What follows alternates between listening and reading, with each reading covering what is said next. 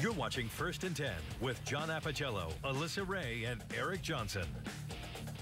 All right, we're back, and the 3A ranks remind us you have to get hot at the right time. That means execution, play your best football, and defense. And defense has been the issue at LB late in the season. Tonight, another example. Yeah, absolutely. Lord Botetourt is coming off a big loss to Staunton River, which so far has been uncharacteristic of the LB team, but they wanted to make a statement tonight as they welcomed Blacksburg. Blacksburg will come at them quickly. Cole Beck right off the bat gets this 37-yard touchdown run. The extra point was no good. They go up 16 nothing early to the second quarter. Ty Moss puts Lord Botetourt on the board. He has his eyes on the prize in for the TD 13-7, still trailing.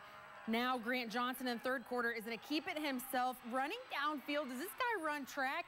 He should. He hurdles the defender on his way in for the score.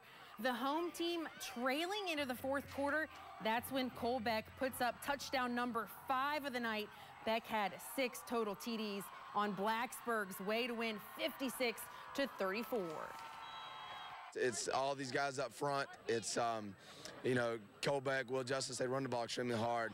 You know, our guys on the outside keep guys out of the box. And, and tonight we didn't get the ball to them a lot because they were they were dedicating people, you know, to cover them. So um, they, they worked really hard.